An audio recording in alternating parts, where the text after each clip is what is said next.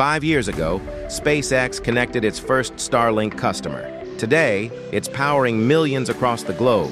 And now, another Falcon 9 has lifted off to keep that mission going.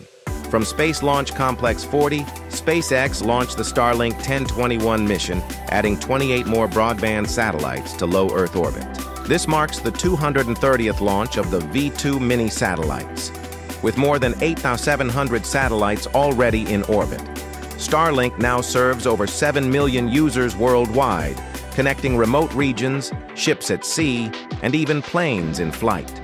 This mission flew on one of SpaceX's hardest working boosters, B-1077, completing its 24th flight. And just eight and a half minutes later, another flawless landing on the drone ship, a Shortfall of Gravitas.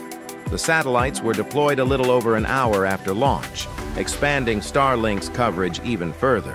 This comes just a week after SpaceX celebrated its 10,000th Starlink satellite sent to space.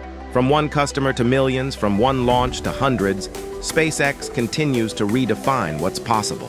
Starlink 1021, another step toward a connected planet.